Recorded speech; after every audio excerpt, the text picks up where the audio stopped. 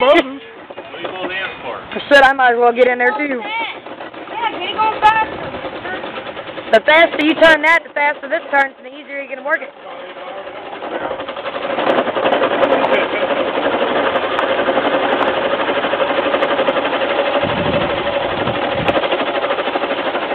You're almost done.